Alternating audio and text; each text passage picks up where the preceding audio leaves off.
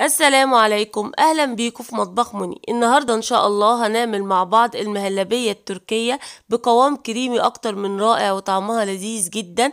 المهلبية التركية أو المحلبية هنعملها بمكونات بسيطة جدا متوفرة في كل بيت.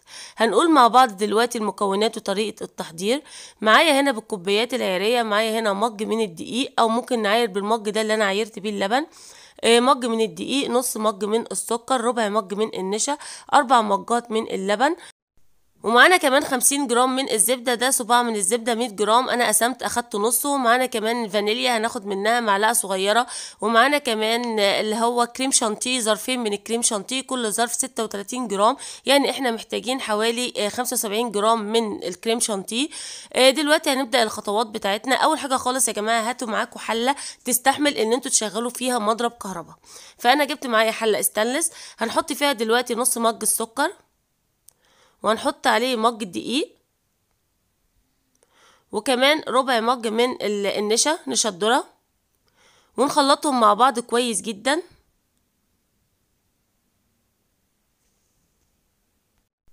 وبعد ما خلطنا السكر والدقيق والنشا كويس هنحط عليهم دلوقتي أربع مجات من اللبن الحليب وهنقلبهم مع بعض لغاية لما المكونات تدوب كويس مع اللبن.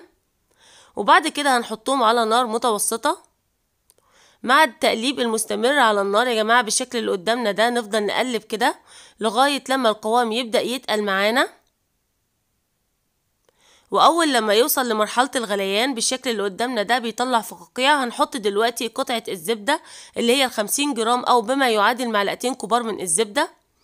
ونفضل نقلب كده لغاية لما الزبدة تبدأ تدوب معانا. وهنحط معانا كمان دلوقتي الفانيليا. هنحط معلقة صغيرة من الفانيليا.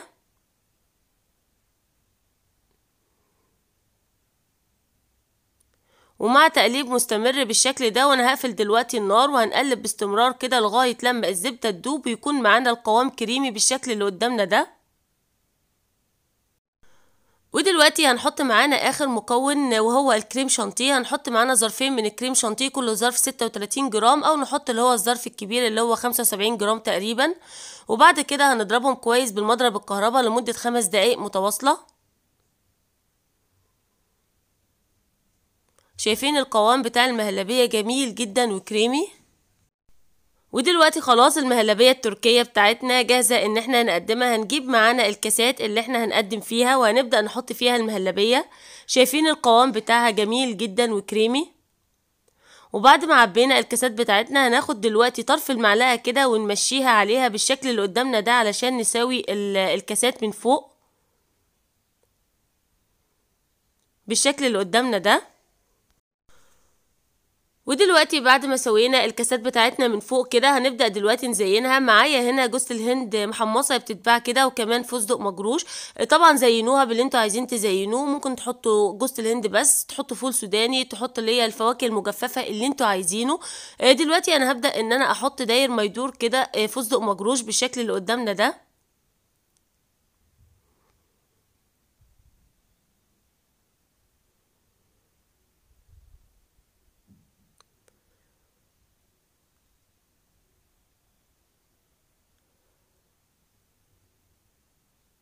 وبعد كده هحط في النص كده شوية من جوز الهند المحمصة. ودلوقتي أنا هكمل تزيين باقي الأطباق بنفس الطريقة. ودلوقتي خلاص المهلبية التركية بتاعتنا جاهزة إن إحنا نقدمها بتتقدم باردة أو ممكن إن أنتوا تاكلوها سخنة هي في كل الأحوال جميلة جدا. آه وطبعا بقى نقول بسم الله وندوقها شايفين القوام بتاعها كريمي ولذيذ جدا أكتر من رائع ومختلفة عن المهلبية اليومية بتاعتنا. آه وده الفيديو بتاع النهارده المهلبية التركية الكريمية أو المهلبية التركية المحلبية بقوام كريمي أكتر من رائع بمكونات متوفرة في كل بيت. وإذا عجبكم الفيديو بتاع النهارده اشتركوا اشتركوا على القناة فعلوا الجرس عشان يوصل لكم كل جديد من فيديوهاتي. اوعوا تنسوني في اللايك والشير وتعليقاتكم اللي دايما بتفرحني وبألف هنا وعافية.